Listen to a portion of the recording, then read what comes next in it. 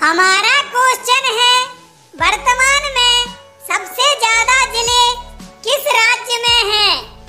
इसका सही जवाब है वर्तमान में सबसे ज़्यादा ज़िले उत्तर प्रदेश राज्य में हैं, जिनकी संख्या